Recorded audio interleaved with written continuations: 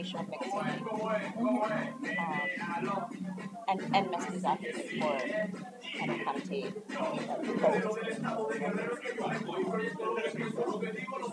Or even me, like I'll probably bring in like African American.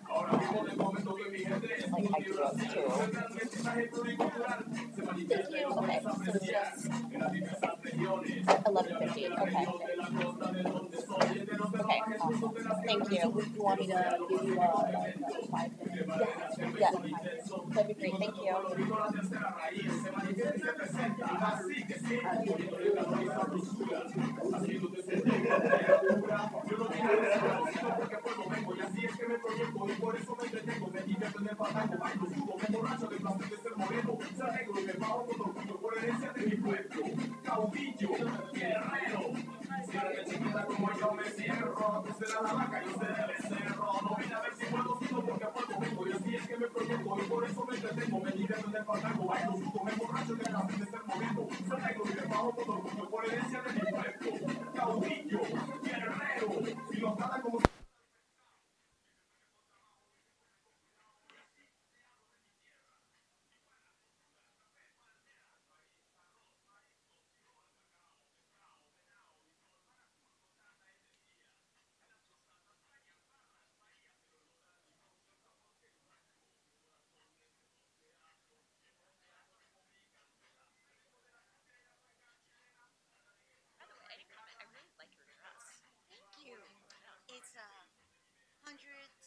Street Special. I hated the, the little um, Africa mark that they have in Hutchinson Film Livingston House. I have that I got from the Dance Africa. Huh? Um, bazaar that they have. if you could actually. Oh yeah, they're like thirty dollars. I got um, some of those store like Bass I know Trade. textile, Little Papa Textile, right?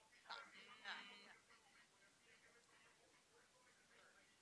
There too, but you know, like those teachers like will do things on the spot, right? So it's like too big, so they're like, all right, we'll tailor it just for you, right? like, all right, perfect. It's like I got my like custom tailor, you know. Where is he? Um, so there are kiosks in uh, closed off gate on 116th Street. They've got the tailor right there with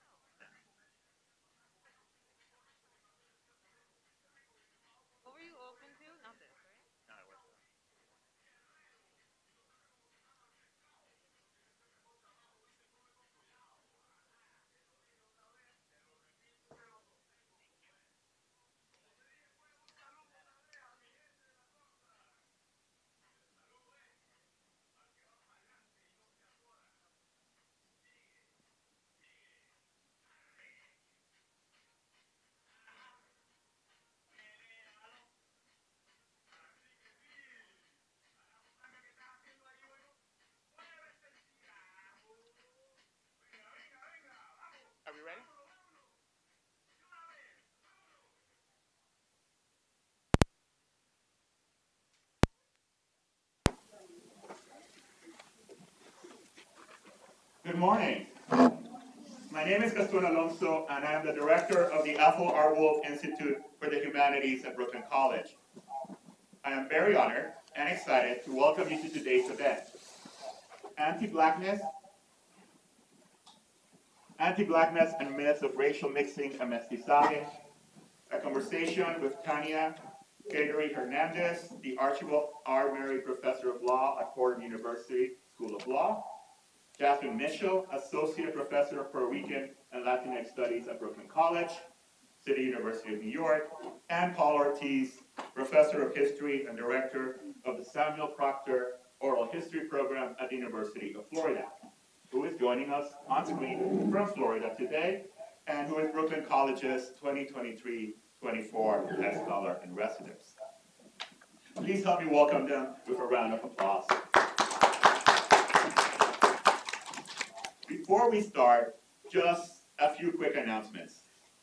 First, today's event is a preview of what will be going on right here at the Tanger Auditorium during the first week of April. From April 1st to April 4th, the Wolfe Institute will be hosting a series of eight public events organized to honor the work of Paul Ortiz. We call it Hess Week. 25 speakers, eight events, four days. Important discussions about academic freedom, the crisis of democracy, the role of movement solidarity, and oral history in defending our freedoms and our democratic practices. At the door, you received a schedule of all of the events. Please join us that week. Second, if you are not already done so, please follow the Wolfe Institute on social media to learn about our upcoming events. The links are in the program. Third, if you're a student and you did not sign in on the way in, please make sure that you sign in on the way out. And fourth, this event is being live streamed and we're recording it and it will be housed on the Wolfe Institute YouTube channel. Now it is Brooklyn College, our technology lags sometimes, so there's a slight echo. Bear with us. Uh, We're trying our best. Uh, and fifth, and importantly, after the event, we'll be giving away uh, for students books by Professor Hernandez and Professor Ortiz. So hold on, and then come on up after the event. And with that, let me introduce my colleague from the Department of Puerto Rican and Latino Studies, uh, the chair of the department, Alan Aja. Thank you, Dr. Alonso. We'll be quick. ¿Cómo estamos, mi gente? How we doing? Yeah, nice to see you here today. I do gotta do a quick plug. Um, for those of you who are graduating, felicidades, you got this, right? For those who are back next semester, uh, given what we're going to discuss and learn today together, we also extend that through many of our courses in Pearl, right? So if you're if you want to continue and you need those gen ed or pathways courses, or you're thinking about a major, minor, and so forth, consider that we're offering Latin America next semester with Dr. Mitchell, who's right here, right? Um, also, um, got in, the intro to Pearls and Latinx diasporas. Also, following spring, we'll be off, offering racial linguistics with Professor Mena and a course on banned books by, by Dr. Espana, was just just approved. So consider those. If you have more questions, right here. Uh, gracias and gracias for having us. Thank you. And with that, let me quickly thank our sponsors for today's event, the Robert L. Hess Memorial Fund and the Department of Puerto Rican and Latinx Studies, in cooperation with the Departments of Africana Studies, English, Political Science, Philosophy, and Sociology, and the Africana Research Center at Brooklyn College. Thank you all for your support in bringing us together today. And now we are in for a treat, an urgently important conversation about anti-black racism in the Americas. Let me quickly introduce the speakers, though their full biographies are in the program. Tanya Carey Hernandez is the Archibald R. Murray Professor of Law at Fordham University School of Law, where she's also the Associate Director of the Center for Race, Law, and Justice. Her books include Racial Subordination in Latin America, The Role of the State, Customary Law, and New Civil Rights Responses, which also has Spanish and Portuguese editions, The Brill Research Perspective in Comparative Law, Racial Discrimination, Multiracials and Civil Rights, Mixed Race Stories of Discrimination, and Racial Innocence, Unmasking Latino and Anti-Black Bias and the Struggle for Equality, copies of which again will be given out at the end of the event. Now, earlier this academic year, Dr. Jasmine Mitchell joined Brooklyn College and the Department of Puerto Rican and Latinx Studies as an associate professor. She's the author of Imagining the Mulata, Blackness in the U.S. and Brazilian Media, and her scholarship has been featured in wide-ranging academic and popular outlets from comparative migration studies and social sciences to Newsweek and The Hill. Now, Paul Ortiz was joining us in Florida, where I hope the weather is better than here. Uh, as I mentioned, is professor of history and the director of the Samuel Proctor Oral History Program at the University of Florida. He's the author of several books, including An African American and Latinx History of the United States, copies of which will also be given away at the end of the event, and Emancipation Betrayed, The Hidden History of Black Organizing and White Violence in Florida, from Reconstruction to the Bloody Election of 1920. He's co-editor of People Power, History, Organizing, and Larry Goodwyn's Democratic Vision in the Twenty-First Century, which I just finished reading and highly recommend. Um, and Remembering Jim Crow, African Americans Tell About Life in the Segregated South. Professor Ortiz is also the past president of United Faculty of Florida, UF, FEA, AFL-CIO, the union that represents tenure and non-tenure track faculty at the University of Florida and has been fighting for academic freedom. Of course, he is also Brooklyn College's Hess scholar in residence this year and will be in this room, right, at 11 a.m. on Monday, April 1st. And so with that, let me turn the microphone over to Professor Daphne Mitchell, who will lead us in conversation. Thank you so much for being with us. Great, thank you. All right, I am so excited to um, be in conversation with you and Paul today uh, to discuss this really, I think, timely issue that has deep historical roots. But to start off our conversation today, I'd love to hear more of your thoughts on what is this myth of racial mixing and the elimination of racism? And can you talk a little bit about how it operates in different communities and nations? Well, I think to best sort of put into context in from a Latin America perspective specifically this idea of racial mixing, we also have to think of a particular moment in time. Right? Uh, that is to say, slavery's been abolished slowly but surely across the Americas. Brazil the last in 1888, but nevertheless, slowly but surely, right? We have slavery being abolished across the Americas, uh, and at that point in time, you have then the ascendancy of eugenics, right? These ideas that uh, racial supremacy uh, based on one's genetic profile, right? That some genes are better than other genes in the DNA pool, and that genes themselves are what make us a race as opposed to a social construct.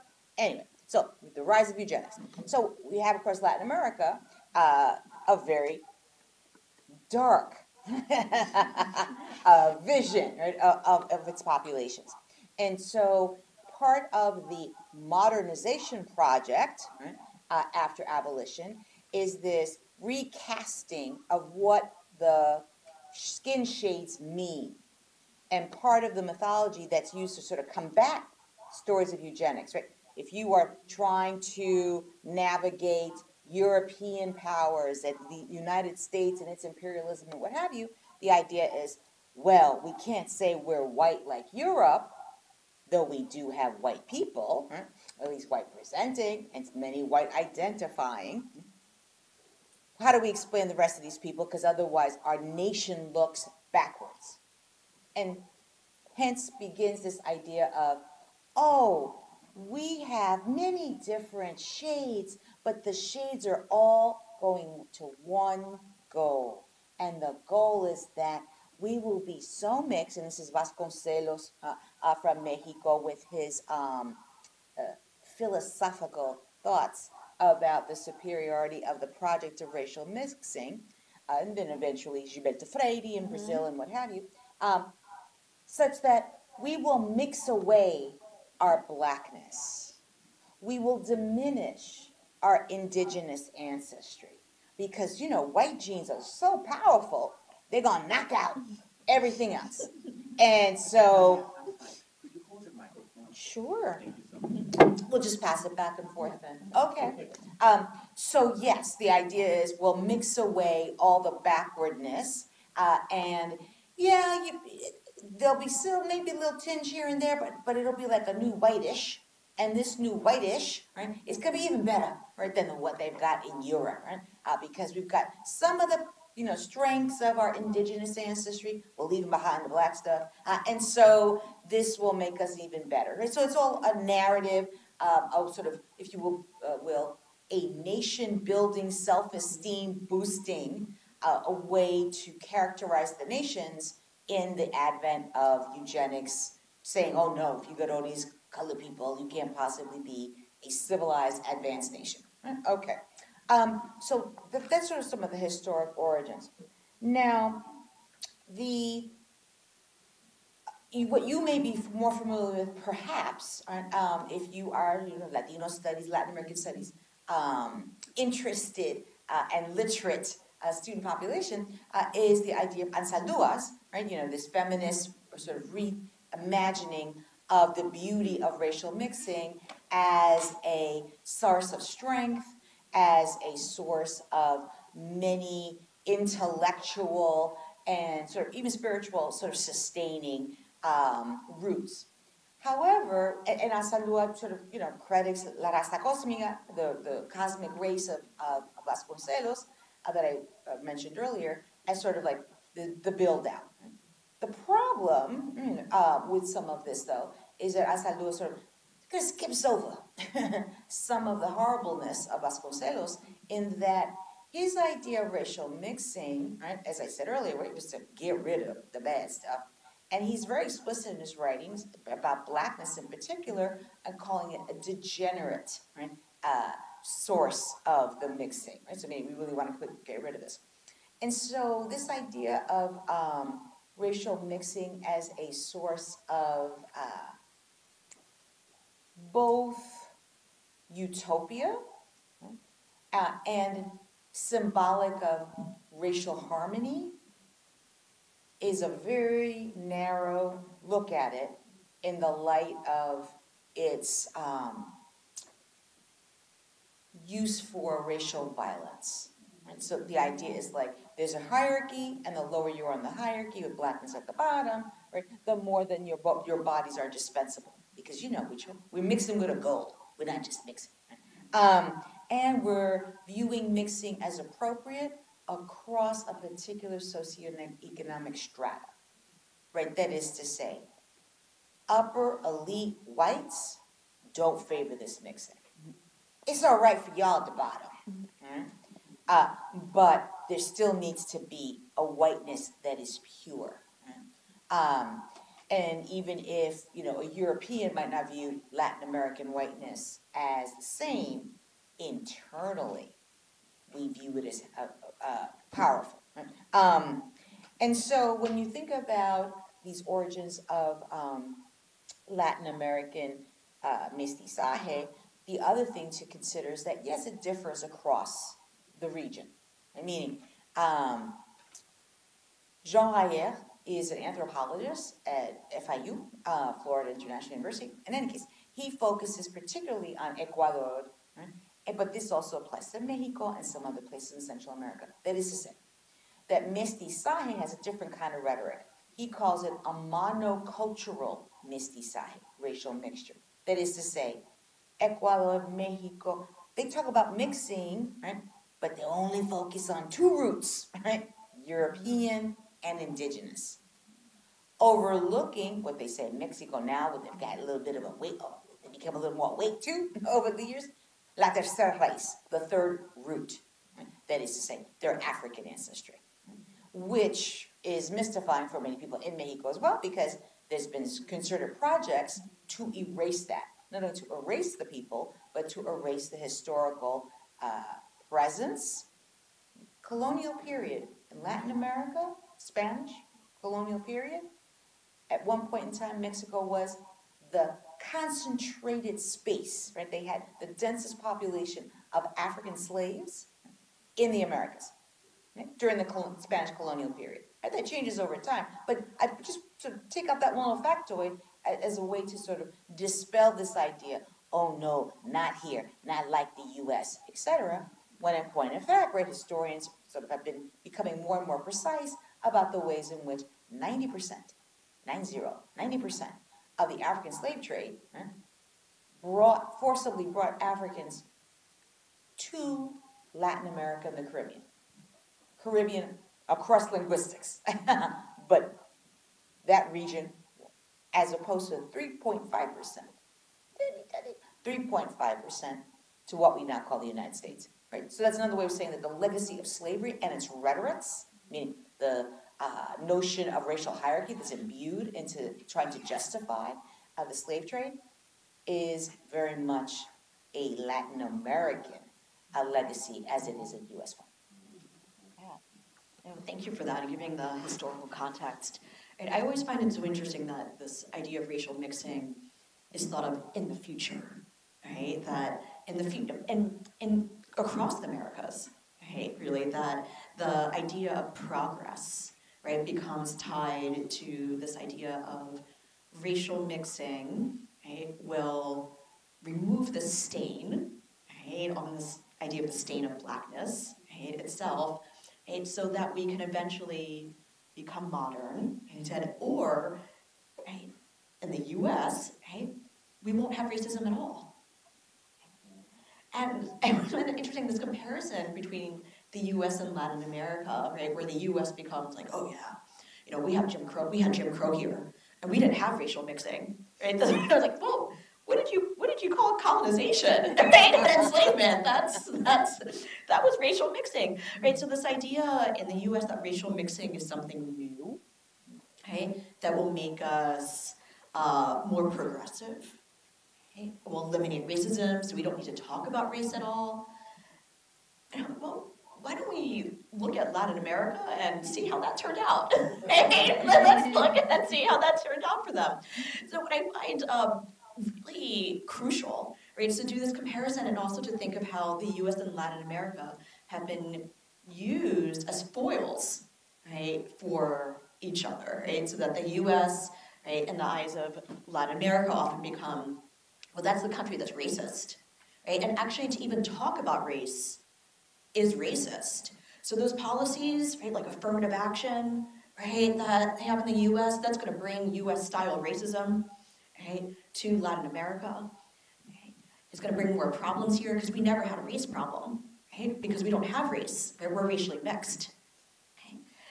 At the same time, when, just as you mentioned, right, when you look at the hierarchies, right, the upper class, that's that's white? That is white, white, right? And they know, right? So maybe they're not, right, the European white, right? But it remains right, very much entrenched within these hierarchies of whiteness, right? And then racial mixing becomes the supposed identity right, of the country, yet the racial, social, economic, political hierarchies remain the same.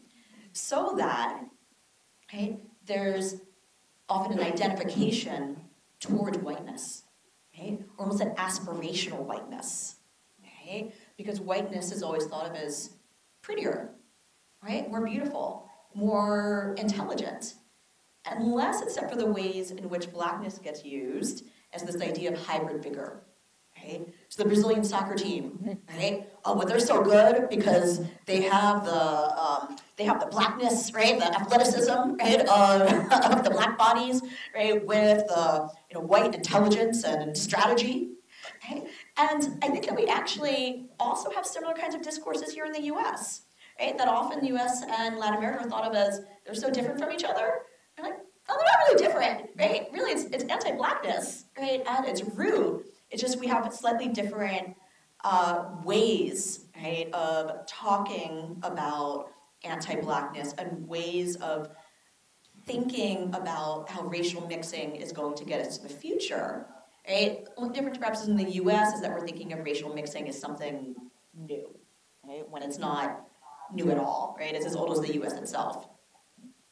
And so, um, having said that, I'd love to hear more about how racial mixing, right, also um, coincides with these myths of color blindness, right? What are some of these myths of of color blindness, right, that circulate?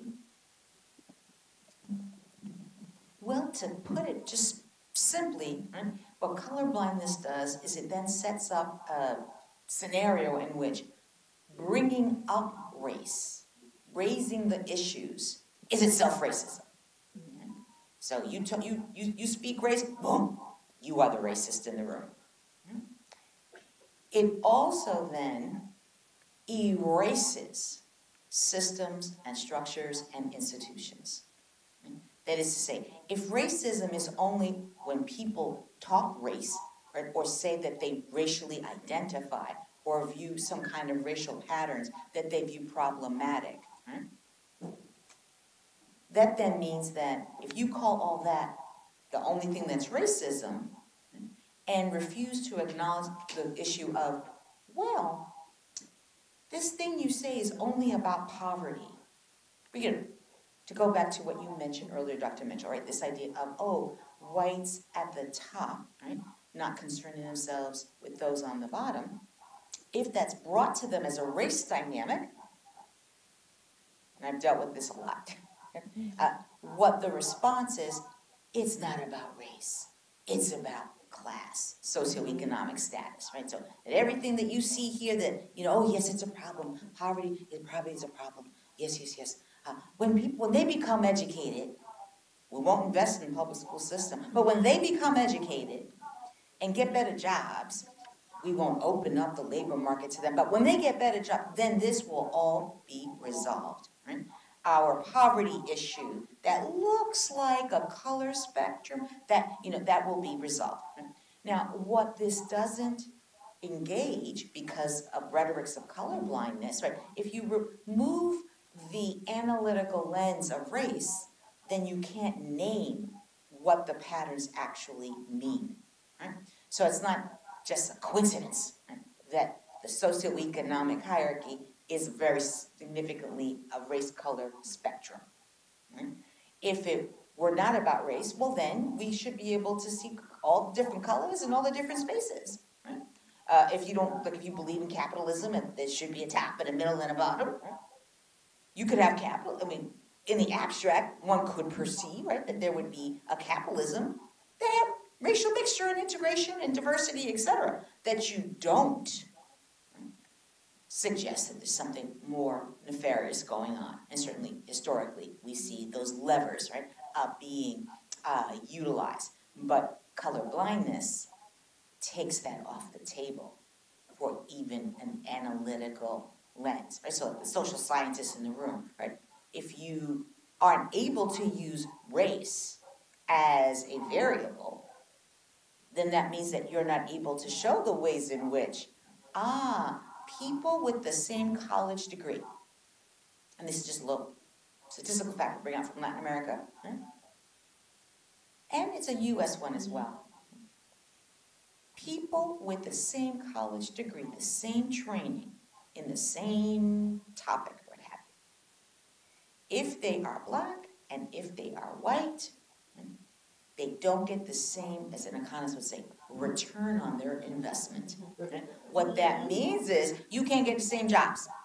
Same college degree, so it's not about education, it's not about, uh, you know, the ways in which you're not ready, you know, it's unfortunate, but when you get ready, then we'll be able to like give you what you need. No, if you compare across the same status, economically, educationally, etc., and you use race as a variable, then you're able to see the work that race does. If you take race off as a variable, then all you have is, oh, well, you know, some people do okay with their degree and some other people don't do okay with their degree. I guess they're just not working as hard. That's the evil of colorblindness. Yeah, no, thanks.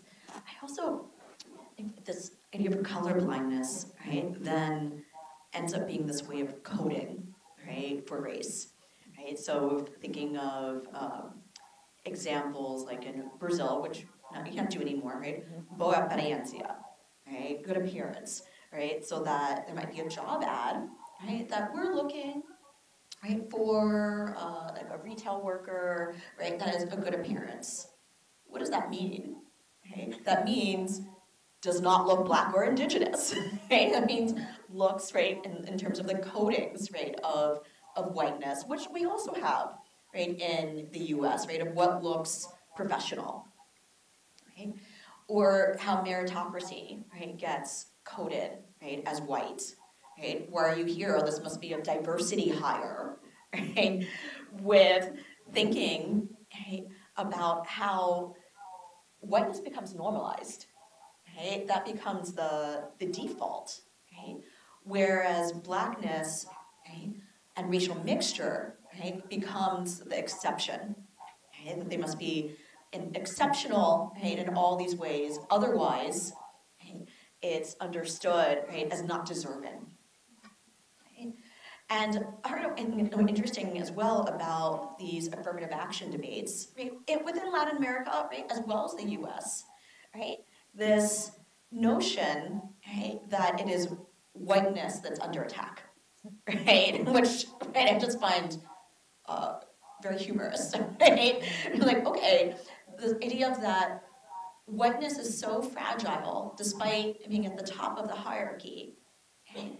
That everything else, right, is not valued, right? Shouldn't be there, right? And that might be within institutions, right, or within popular culture, right? Oh, we just couldn't find the right actress, so we need to put some heavy makeup, right, on this right actress to make them look darker. We just couldn't find the right actress, right? That, right? You see how constantly, right, this um, idea of color blindness, especially as it coincides with racial mixing, because now that we have racial mixing, we don't have racism. So therefore, just as you mentioned, right, to talk about race becomes racist. Right?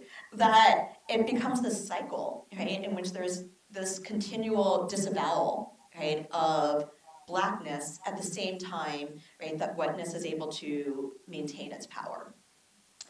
Um, so having said that, right, I'd also love to hear about this juxtaposition of the denial, right, of African heritage, at the same time that there's often an embrace of African heritage, right, especially in Latin America. Well, I think once again, this is a context in which the Americas align more than they differ. right?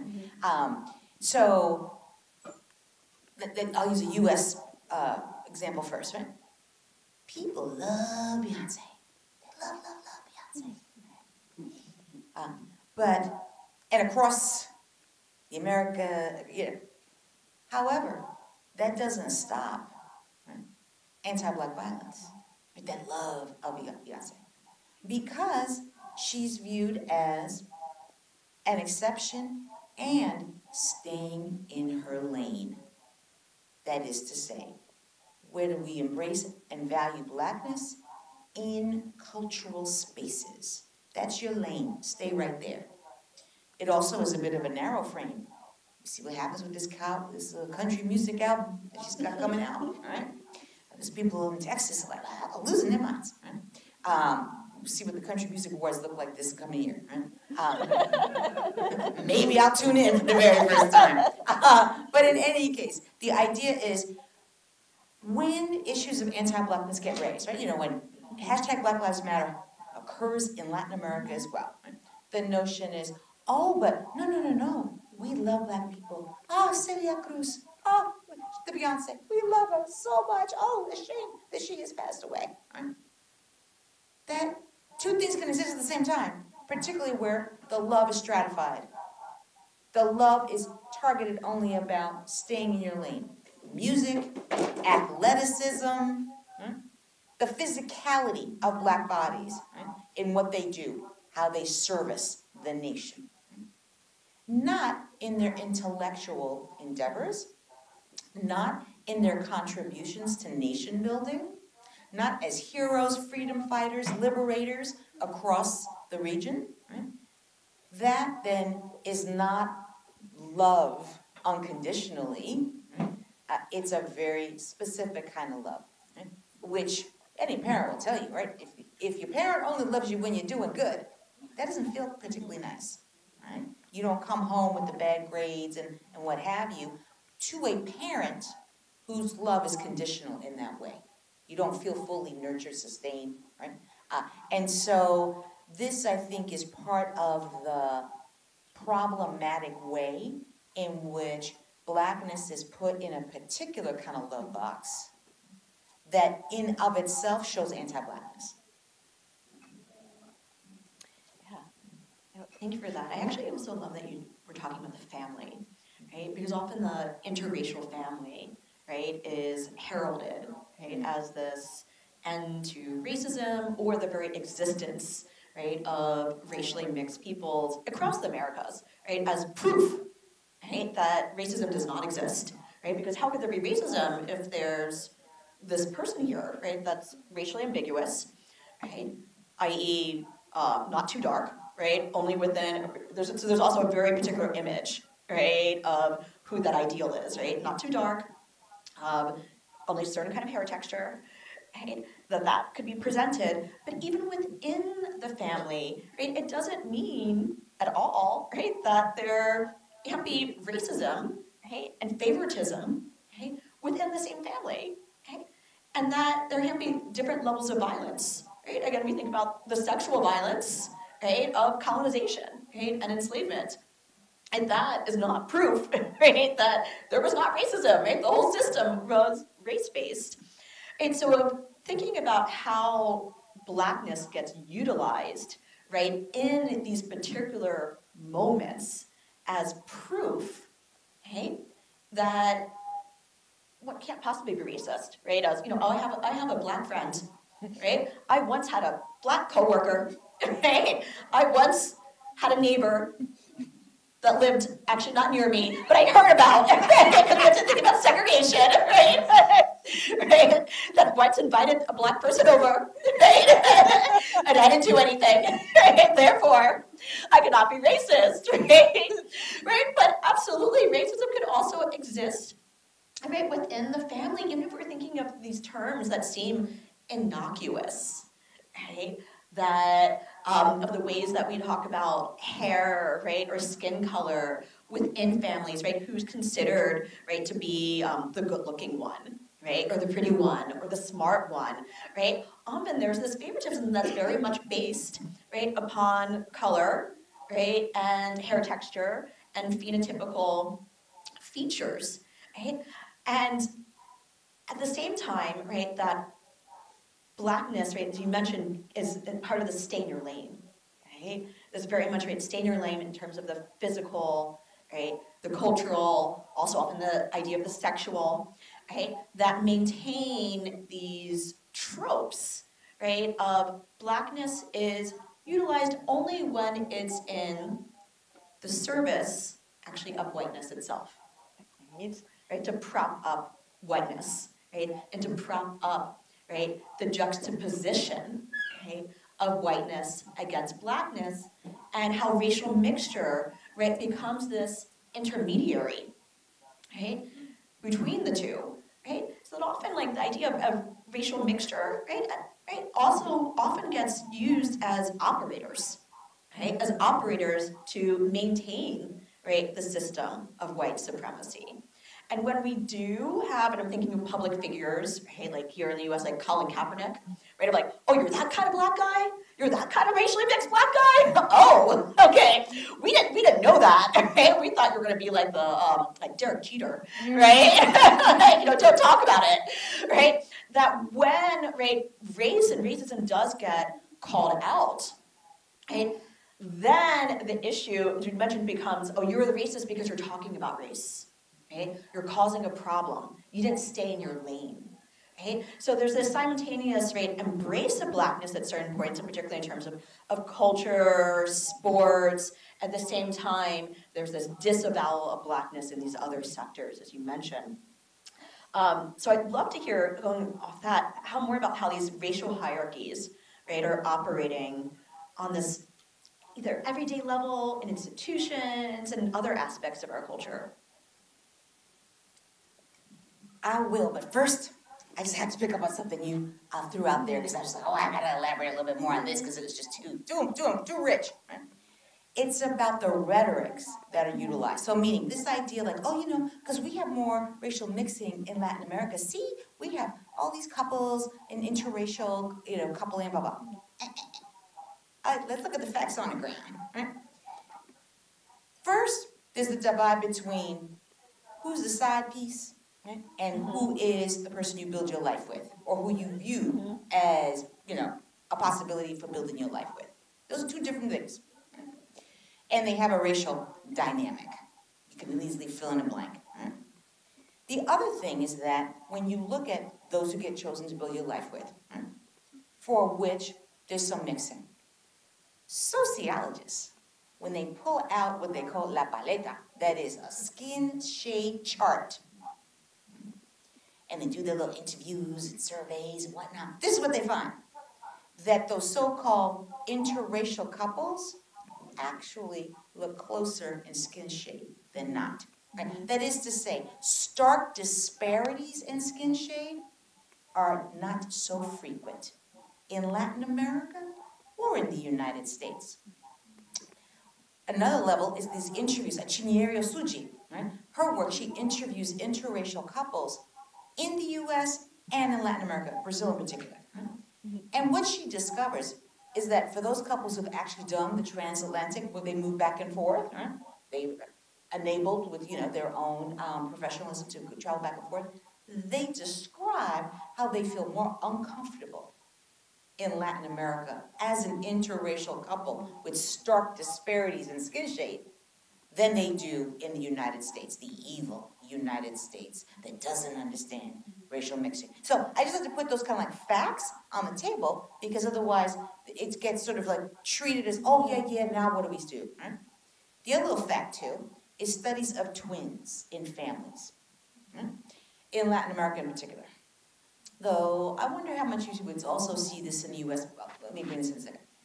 Twin studies, right? So same family, same genetics, same year, maybe a minute or two apart, right? Depends who raced out first, but they're twins. Studies of twins in Latin America show that the lighter one gets more family investment of resources and love and concern than the darker twin. Twins.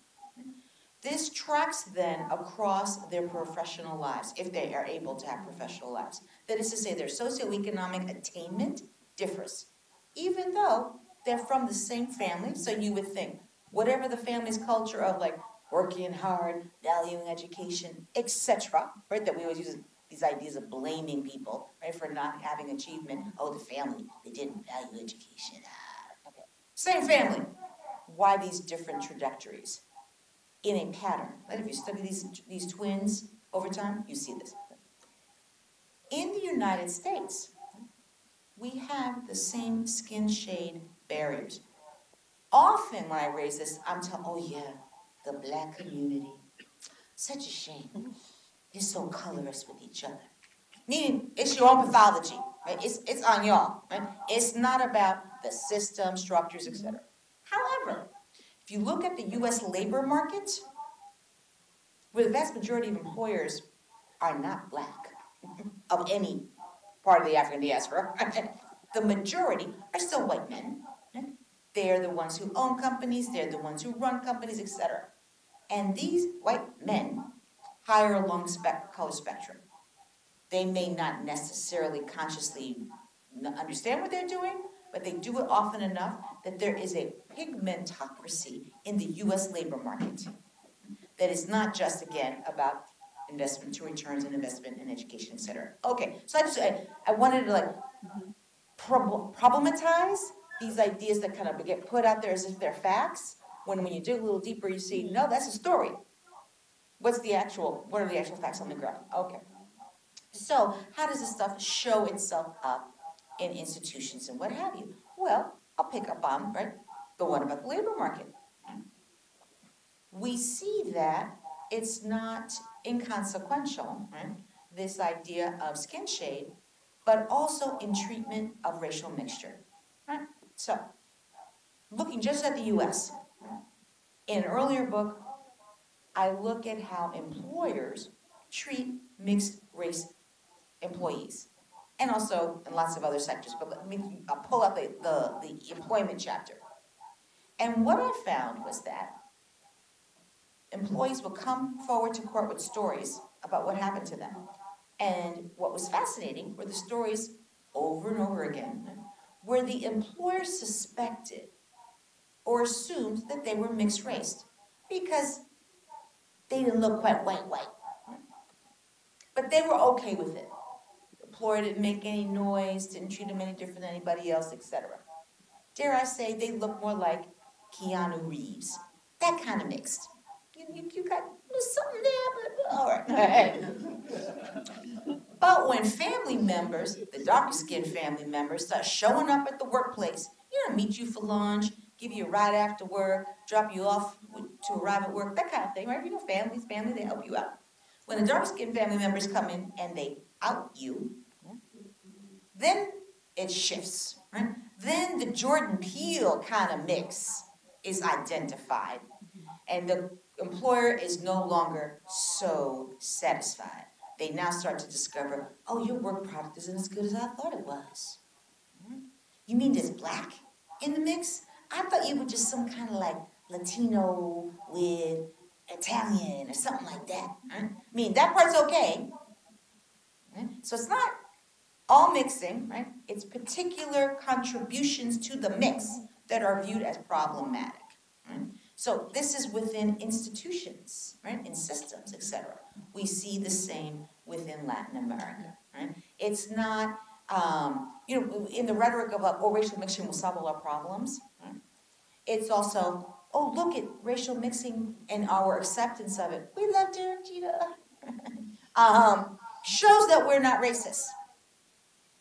But if you only like particular kind of visions of racial mixture, you've got an image in your mind about what racial mixture looks like, and it doesn't include Jordan Peele, that's not then an, a proof right, that there's no racism.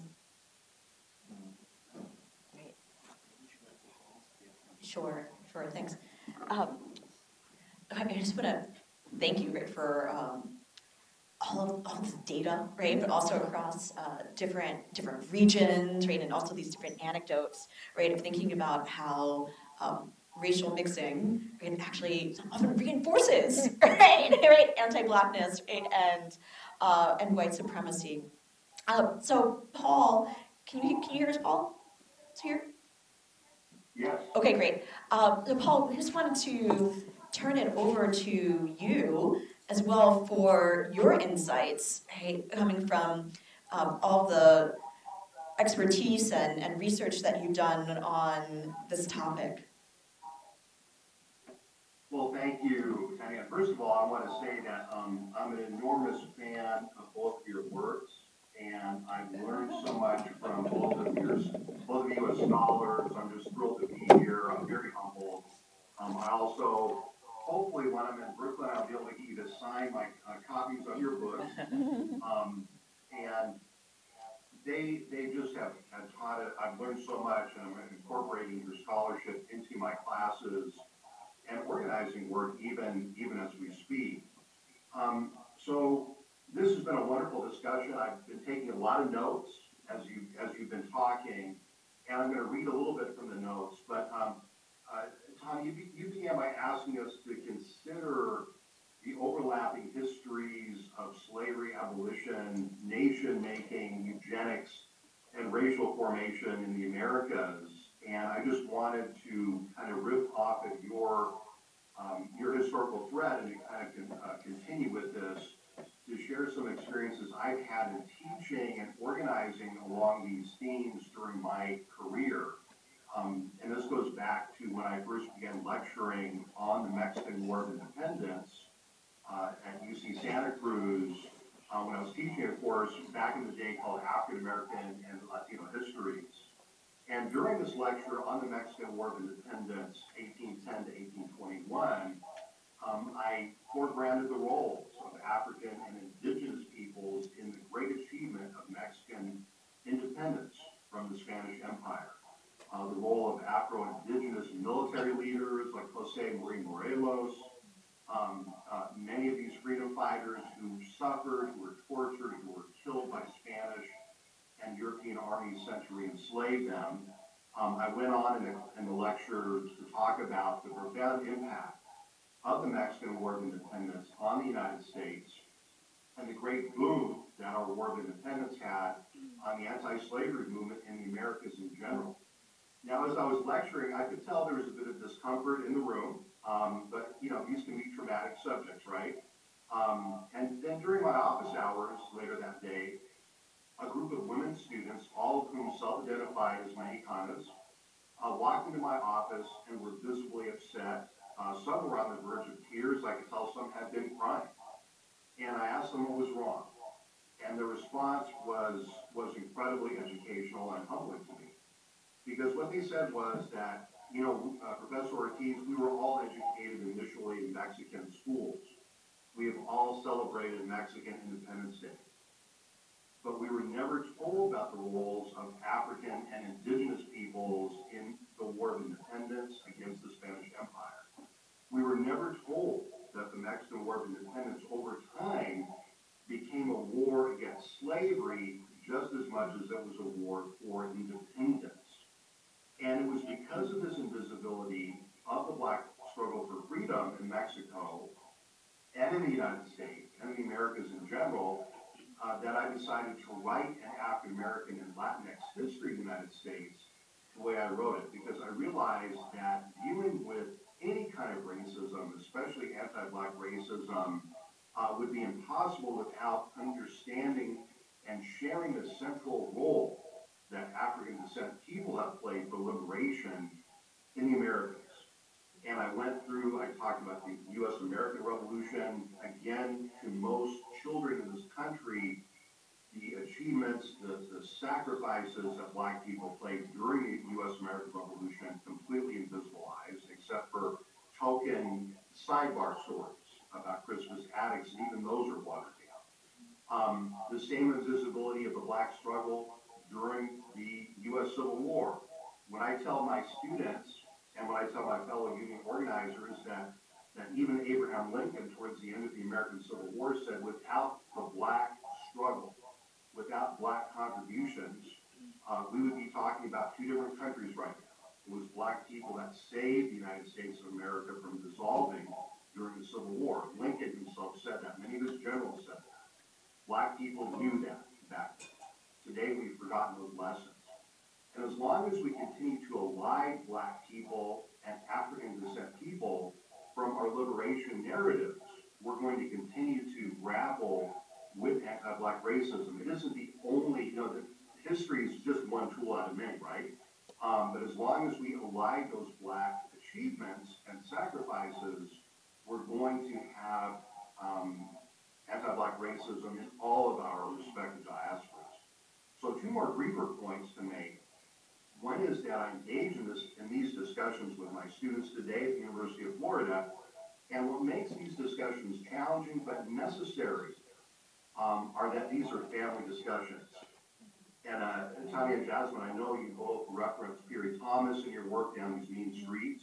My students love that work. And again, down these mean streets pushes my students to tears because even though he wrote the book in the 60s, and it's a prison narrative, and it's a family narrative about anti-blackness within a Puerto Rican family, these are the same types of dynamics that my students from the Spanish Caribbean, from the French Caribbean, from Latin America deal with today. And we have these really, so if we have a, a discussion about black and brown solidarity at the University of Florida, it often begins with, well, you know, I'm the darkest skinned member of my family. My mother has asked me to uh, use skin lightening uh, treatment. She's asked me to straighten my hair. Um, I don't want to do that any longer. I want to be who I, I want to be. And so we begin there with family discussions, and those are challenging. And, and I think that that's, that's what makes this discussion so necessary today. It's historical, it's personal, and, and, and again, I'll conclude by, by just um, uh, stopping where I started, uh, just maximum respect to the work that both of you are doing in making these very personal discussions and giving us a social context to be able to discuss these things uh, and bring them out into the open. Because yes, we too often hide them. We, we have this understanding among Latinos in the United States, uh, and, and as an organizer, I've seen this over and over again, where we say that, you know, we're not like the Anglos. Uh, we don't have the racism problems like the Anglos have. And I've heard that as an organizer in the labor movement, but it's just not true. Um, it, it's a challenging uh, truth to deal with, but once we deal with it, we become better organizers, we become better teachers, we become better neighbors, we become better parents, uh, we become, better scholars. So thank you for really uh, uh, uh, leading this robust discussion. You want to respond to Paul, and then we can take questions.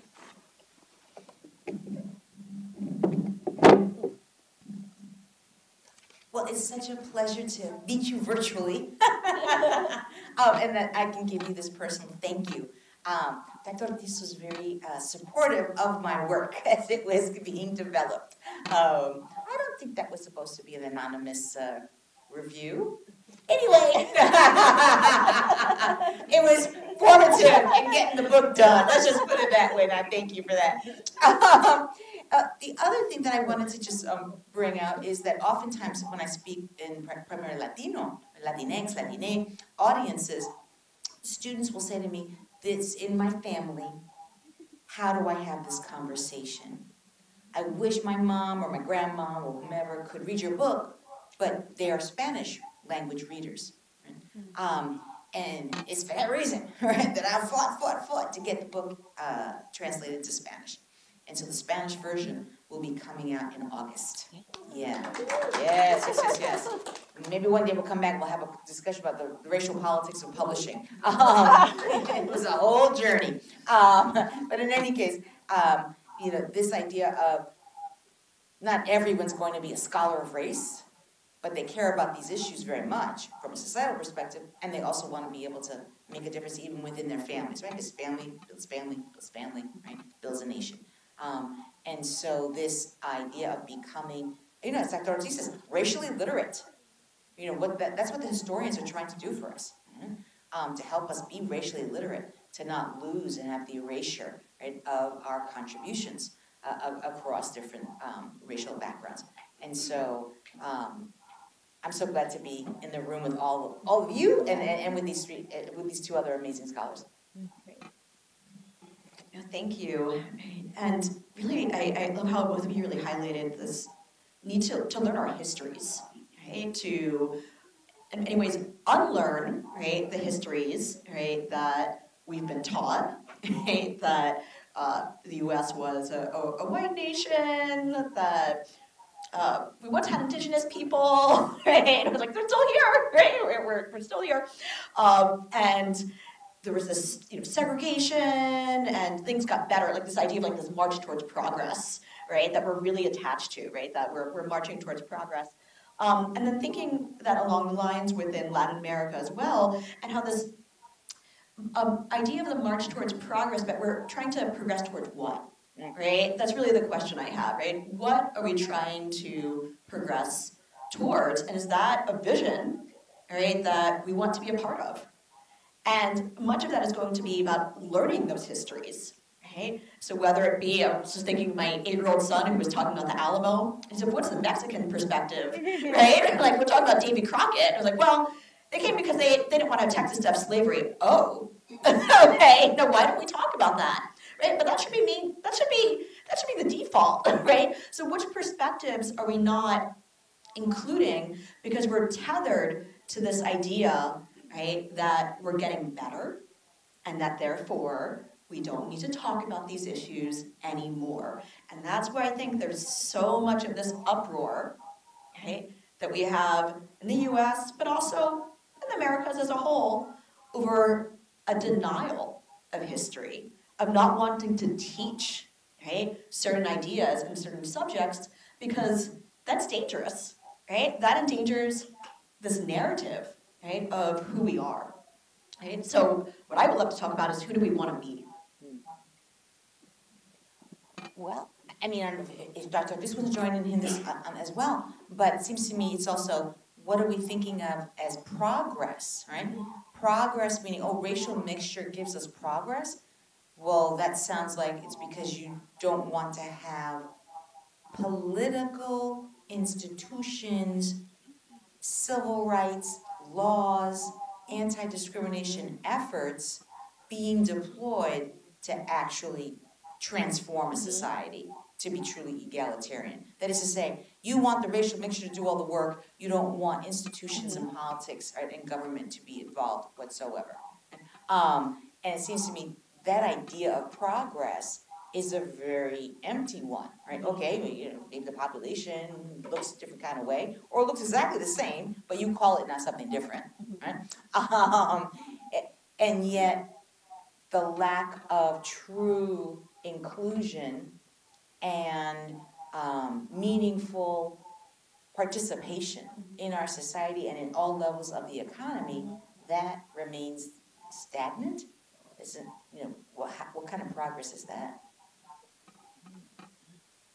think we should go to questions, but before, very briefly, Paul, because we're talking about kind of uproar about the ability of historians to make us racially literate, and you're living in the middle of this uproar.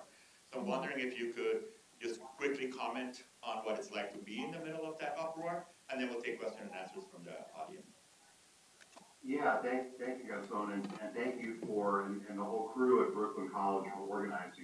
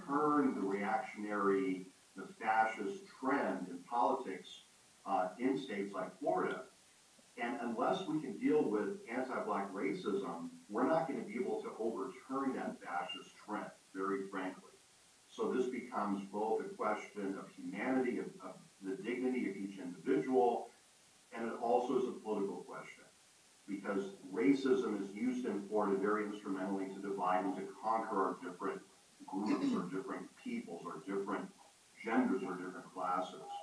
Um, and this is why we have the anti-woke laws. This is why the state understands very clearly it needs to stop any types of discussions about systemic racism, about sexism, uh, uh, about transphobia.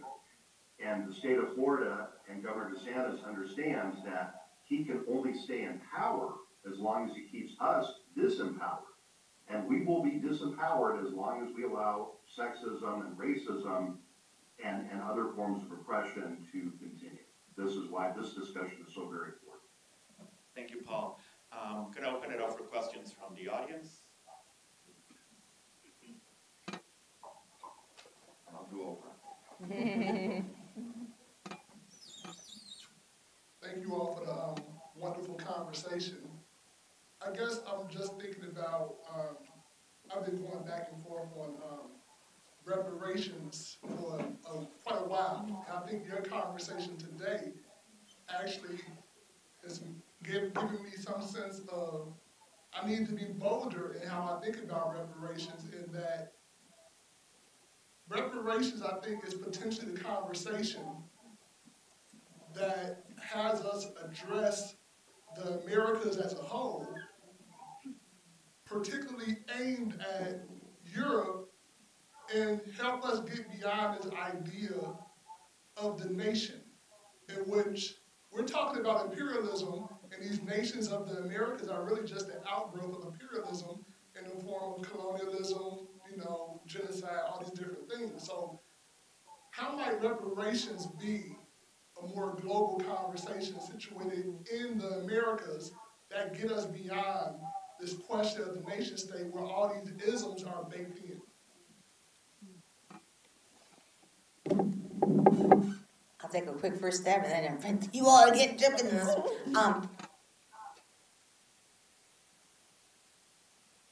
it's for this reason that I am often very disheartened by the divisions within the reparation movement. You know, organizing is a, always a tough slog, and I'll let Dr. Ortiz fill in the um, details. But within reparations, right, to be overly simplistic, there's the Pan Africanist perspective, right, that directly speaks to this idea of an African diaspora, right, that has suffered of colonialism, right, uh, across geographic spaces. Um, and thus reparations means dealing with that complexity just like the complexity of the slave trade, right? Um, whereas sort of the alternative view is this idea in the United States that reparations is just about the US and reparations is just about, um, do you remember how ADOS puts it? Descendants of, of, of US slavery, right? Uh, uh, In other words, what gets sometimes put down to blackity blacks, right? You know, this idea of only English speaking African Americans, not nobody with no West Indian ancestors, right? You know, just, just US South, as if the US South also was a monolith, right? Um, and here's where I've kind of my thinking uh, goes on all of this. One, I find that division very disheartening, right? But I also think we need to respect the ways in which the African American situation in the United States is one that is a constant history of other isms being utilized as a distraction from attending to anti-blackness against African Americans, right? Meaning, if you think of uh, blackness and anti-blackness as always having a vision of who's the real black person? Then the real black person. It's almost not even Africans anymore, right? It's just U.S. African Americans. Uh, and so I think that those nuances are ones that we can handle, but instead we shy away from them and think of it as being too complicated, too dangerous, etc. Um, it's the same thing that tells us we can't think about uh, organizing in intersectional ways. Intersectional not just across gender and class and what have you, but within um, the intersectionalized within what even we think of as a, a monolithic group. And I'll just give a quick example. Right?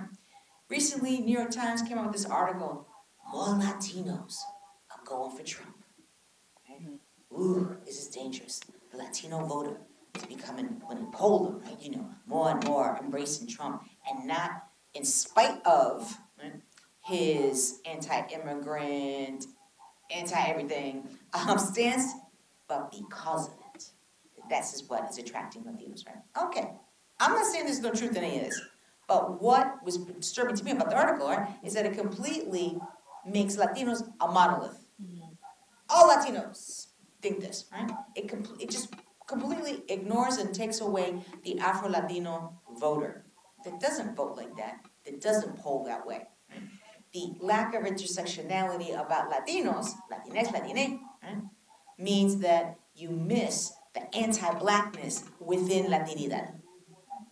Uh, and so these are nuances we can handle, but they get erased. And so I think similarly with regards to the, the, the reparations debates. Oh, I'd Actually, I'd love to hear from Paul. No, I'll just say very, kind of simply, right, I love this idea of the global approach. And I think it often gets mired down, like in so many different policies, like affirmative action, right, quotas in Latin America. Well, who qualifies as black?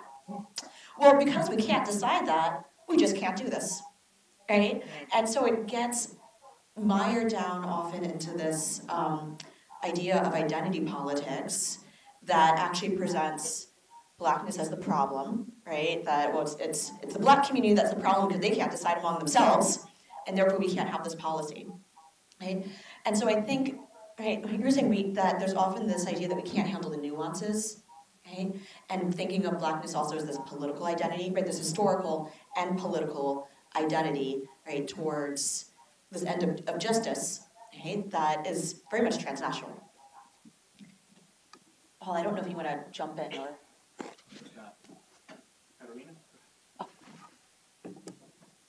Um, thank you so much for, for being here and for this great conversation. I was wondering if you could tease out Latin America a little bit more, right? Because not all of Latin America is the same and there are real, right, distinctions. I'm from Chile, which has its own brand of whiteness, right? And one of the things that has played out recently is in this um, constitutional reform and uh, in the first one, not the second one, uh, but in the first one, there was this idea of getting indigenous people a seat at the table, right? Included, not included in that what were Afro Chilenos, right, who were not even acknowledged, right? I mean, as, as late as the year 2000, the president of Chile was like, there was no slavery in Chile because it was too cold here, right? I mean, how wild, right? So Afro Chilenos were not, you know, kind of legally recognized until 2020. And then they were not included at the table in this constitutional, right?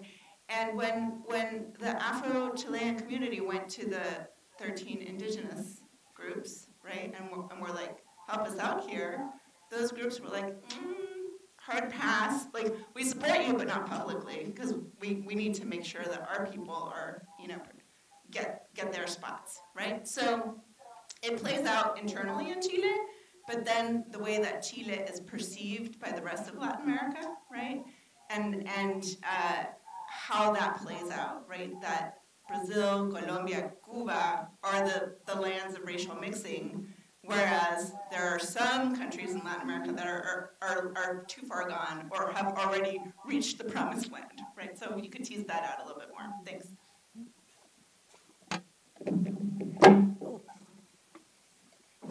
Yes, Latin America is so fascinating, right? Um, and, and, and here's the thing. When I first started on the project of like, you know, and, and, and that's when I met Dr. Mitchell. She was like, oh, what are you doing? Um, started on this project of like looking at the region as a whole, right? and including the Caribbean. Um, I was constantly confronted with it. You know, I'm a lawyer by training, so I deal with you know, representatives of nation states and, and what have you.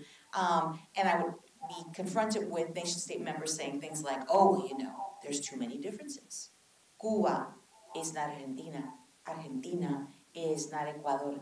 Ecuador is not Uruguay, and so on and so forth, right? And yes, that's true. And right, that is to say, Alabama is not upstate New York. it's not Mississippi. It's not Alaska, right? However, right? it doesn't mean you can't talk about U.S. anti-blackness, right? So, in looking at the region and its specificities, I, what I always was sort of putting forth is, yes, but what is important is to not lose sight of a commonality, a mm-hmm. parallel of anti-blackness. Right? So, it, it, what's so fascinating is that when you talk about these things in the region, people always say, "Oh yes, Southern cone racism. Like any other." You know what I mean? um, and, and here's the thing. Let's pull Argentina out of the hat for the moment. Right? In Argentina, people have this notion of like, well, we have blacks, but you know that's because now we have immigration. Uh, um, oh yeah, we got blacks, but you know they're the ones from Brazil. Yeah. It's blackness is always someplace else, right? And has nothing to do with your own nation state, right? Completely erasing, right? Blackness is viewed as a historic past. When at one point in the 1920s, let's take a city, Buenos Aires, people of African descent on the census counted as a majority, right? A significant number. Would they all disappear?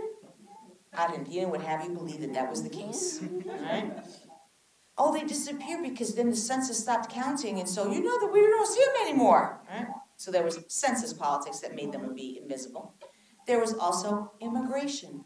Oh, let's open the doors to the European immigrants because we need the right kind of immigrants. Right? It's called a whitening process, a blanqueamiento. Right?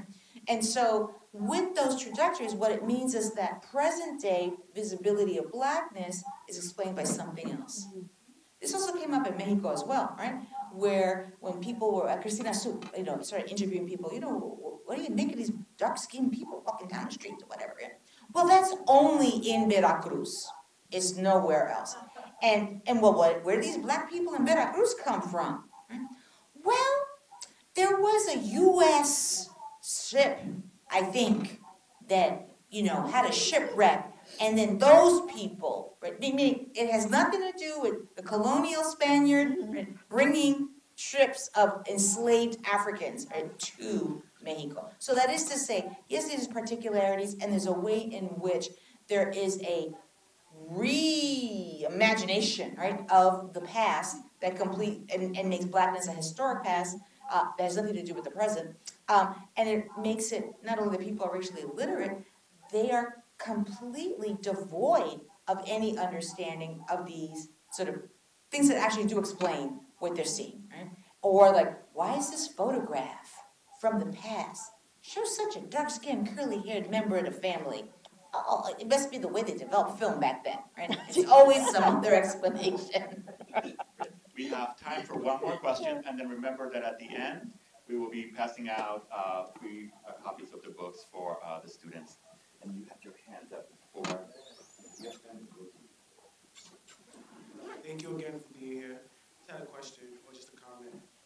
For those individuals, black and brown, that have to be exceptionally better, right? Overcome all the, um, the racism and stuff like that, and they have to exceptionally better, and still face intersectionality. What is the approach that you, what, what's the solution for that? What's the approach that you have to do? Because you, you, go to school, you go to trainings, you get the jobs, however, plateau at one point. You can't go over. So how do we approach that? And we can be quick on the answer, because I want to make sure we get one more student question in. Um, I, I think I might want to throw this over to Dr. Ortiz, but my quick, um, response is that we need to hold accountable those who say they represent us, right? Meaning, each individual just trying to go to work, pay bills, et cetera, right? But we have organizations, politicians, so-and-so, uh, that are supposedly, uh, people who we vote into office or otherwise look to, our, our churches, our community organizers, etc. We need to hold them accountable to, to be intersectional. Meaning, don't tell me, oh, first we do black liberation, then we deal with trans rights. As if black trans rights are not a thing, right? No, we have to attend to it all, because within the one thing you're talking about, blackness, there are intersections. Dr. Ortiz, would you like to respond? Do you want to respond, or? Well, I agree one hundred percent, and I think that, you know, one of the things we, is we need to hold leaders accountable, our organizations or, uh, and each other. And also we should learn from the fact that our, our enemies, people who wanna keep us oppressed, people uh, passing these anti-woke laws, passing these anti-labor laws, uh, trying to stop the votes, uh, of African Americans and Latinos and oppressing, uh, immigrant workers, uh, they hate this term intersectionality, by the way and they're trying to expunge it. And that's very instructive for us. We need to double down and emphasize the connection, uh, connections between each other. Um, the tensions, yes. Uh, the failures to connect, the, the, the, the problems, the, the discrimination, but also the efforts of coalition building. And again, I'll say that in Florida, we're not even supposed to use the term intersectionality. And again, that's very instructive. The people, the powers that be want us to, want us to view ourselves as separated from each other, uh, as isolated, alienated individuals. We need to learn how to get together again, uh, and, and, and, and build on the great work that has been talked about today at this, this wonderful session. Thank you. We have one final question or comment. Um, thank you for this conversation. Like my friends and I have these conversations about the Caribbean all the time. But um, my question is basically being as racial mixing is supposed to kind of like eliminate racism to a certain extent. Was to stop it to becoming sort of like the caste system in India and basically separating people based off that or resurgence of a new of well resurgence of racism based off of what somebody is mixed with.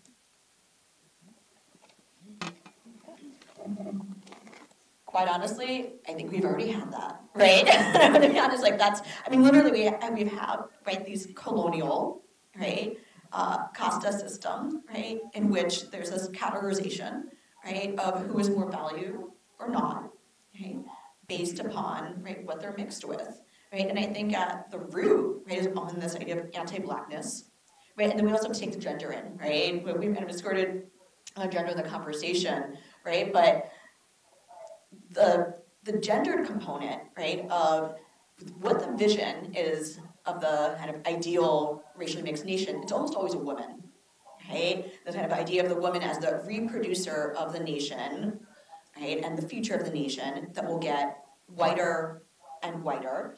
And the question that I have is who gets left behind?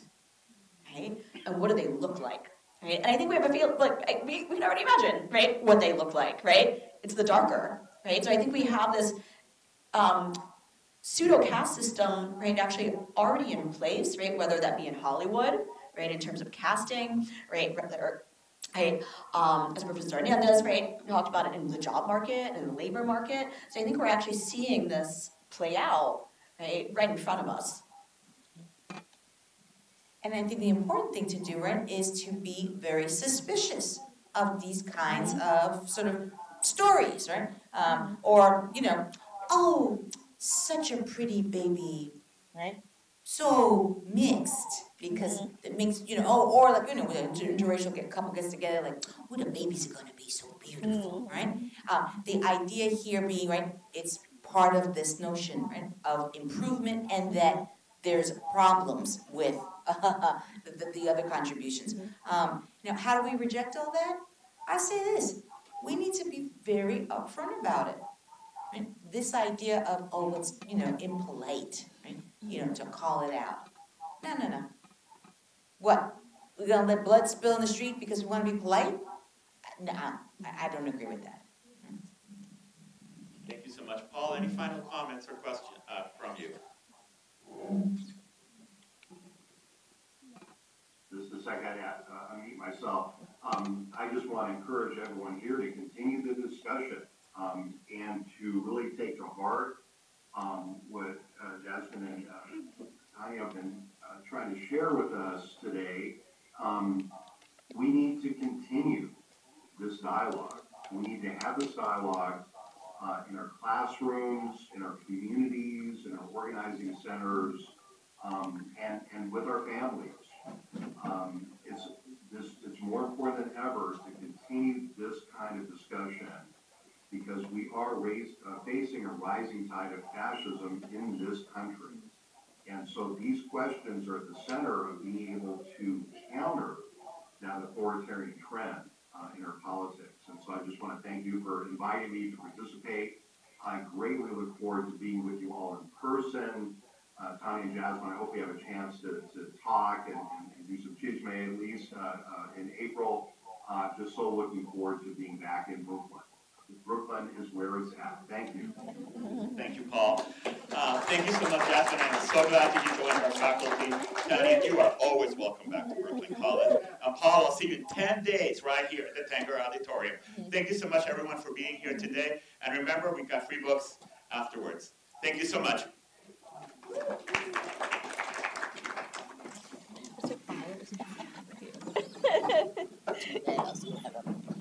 Mic situation, there we go.